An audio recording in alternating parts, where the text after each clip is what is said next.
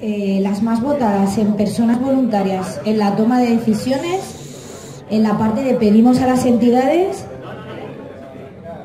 una es organizar y crear espacios formales e informales donde todos los que somos parte de la entidad podamos interactuar. Y la segunda más votada, concienciar a la entidad, profesionales, familias y personas con discapacidad intelectual de la importancia del rol de la persona voluntaria. En la parte de pedimos a la sociedad, la más votada ha sido reconocimiento de la acción voluntaria a través de recursos, estructuras, participación en las estructuras, educación y financiación. Y la segunda más votada, intercambiar experiencias de voluntariado con otras entidades.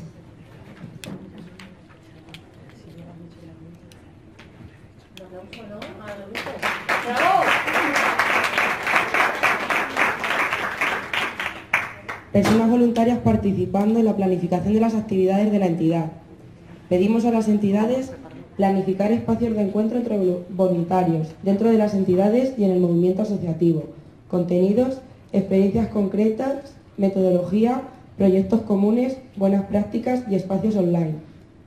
Información y formación al resto de grupos de interés sobre el rol del voluntariado. Y pedimos a la sociedad educar el, valor del voluntariado desde pequeños, con 19 puntos, y empatía e implicación hacia el voluntariado, con 8.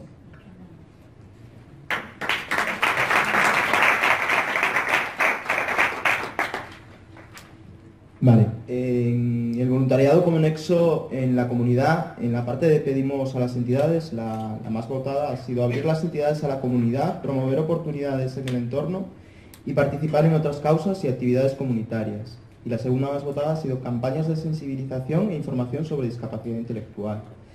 Y en la parte de pedimos a la sociedad, la más votada ha sido una sociedad más abierta e inclusiva, igualdad de oportunidades, ejercicio de derechos, etc.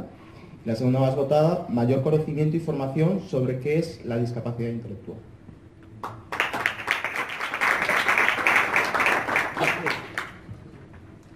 En más allá del ocio, otras formas de voluntariado.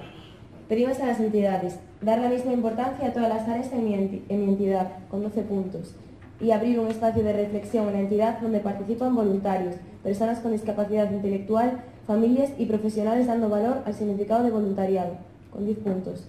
Y pedimos a la sociedad sensibilización en centros escolares, empresas y administración, con 16 puntos, y participación comunitaria en los diferentes ámbitos alejados de la sectorización, con 9 puntos.